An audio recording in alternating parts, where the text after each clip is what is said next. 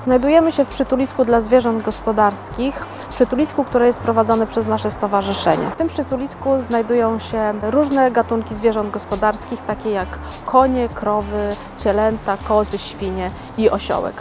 Przytulisko jest prowadzone przez nasze stowarzyszenie od dwóch miesięcy. Od dwóch lat zajmujemy się końmi, które zostały odebrane z interwencji niehumanitarnego traktowania zwierząt, a od tego roku nasi inspektorzy przeprowadzali interwencje w sprawie zwierząt gospodarskich, które trzeba było poprzednim właścicielom odebrać ze względu na znęcanie się nad nimi. Wszystkie zwierzęta trafiły do nas spragnione, głodne, z zapadniętymi bokami, w fatalnym stanie psychicznym i fizycznym. I właśnie tutaj, w naszym rogatym ranczu, chcemy, aby znalazły nowe życie. Pamiętajmy, że nie tylko psom i kotom, zwierzętom towarzyszącym należy się opieka i nasza pomoc. Pamiętajmy również o tym, że zwierzęta gospodarskie również odczuwają ból i pragnienie i potrzebują naszego wsparcia. Niestety w Polsce bardzo często zwierzęta gospodarskie są traktowane jak rzecz, są traktowane podrzędnie, y, a my chcemy pokazać, że właśnie te zwierzęta również potrzebują pomocy. Wszystkie te zwierzęta po interwencji niehumanitarnego traktowania zostały przewiezione do naszego rogatego rancza i w tej chwili przechodzą, e, część z tych zwierząt jest leczonych, część tych zwierząt już dochodzi do siebie.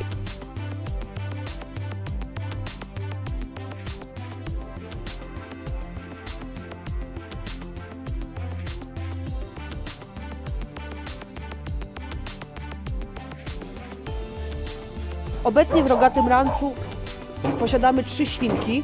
Dwie świnki wietnamskie, jedna świnka angielska, to jest właśnie Teodor, to jest nasz duży prosiaczek i dwie, dwa maluchy, one są już dorosłe. E, szukamy dla nich imion, nie mają jeszcze imion, więc e, konkurs otwarty na imiona dla świnek wietnamskich. Świnki wietnamskie są bardzo czystymi zwierzętami. Nigdy w życiu nie położą się w nieczystości zawsze e, pielęgnują, e, pielęgnują miejsca, w których chcą położyć e, się.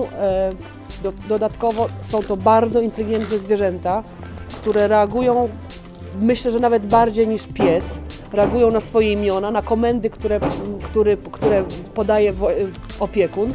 I są to, są to naprawdę niesamowite. Ja to traktuję jako zwierzęta domowe, nie jako gospodarskie, tylko zwierzęta domowe i są to naprawdę przyja przy przyjaciółmi człowieka. Przypadku koni większość tych zwierząt nie nadaje się już do jazdy. To są w tej chwili tylko zwierzęta towarzyszące, które, którym y, musimy stworzyć tak, jak najlepsze warunki bytowe. Natomiast y, no, nikt już na, na niektórych zwierzętach nie będzie można niestety jeździć. Mają zwyrodnienia stawów, mają połamane szczęki przez poprzednich właścicieli. Część z tych zwierząt niestety ma traumę wynikającą z wieloletniego bicia.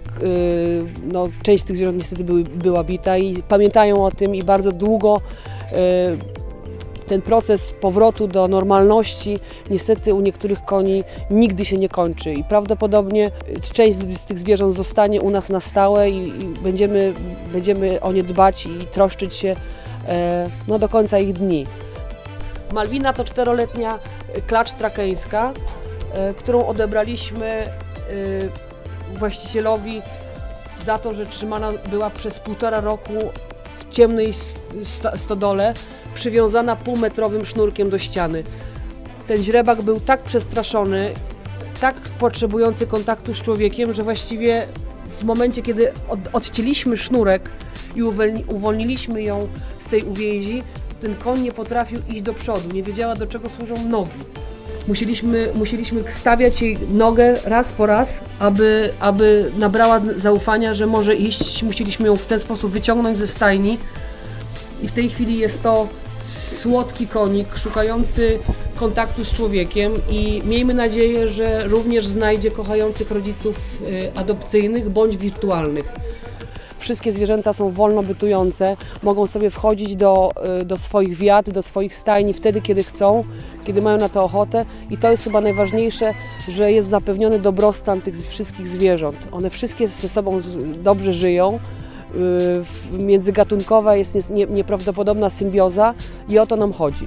Utrzymanie rogatego rancza, utrzymanie tego przytuliska kosztuje nasze stowarzyszenie około 20 tysięcy miesięcznie. Chcemy, aby te zwierzęta nie trafiły do rzeźni, chcemy, aby tutaj znalazły nowe życie, dlatego prosimy wszystkich naszych sponsorów o pomoc finansową, taką pomoc, która y, pomoże nam uratować te zwierzęta i chcemy zrobić wszystko, aby te zwierzęta nie trafiły do rzeźni.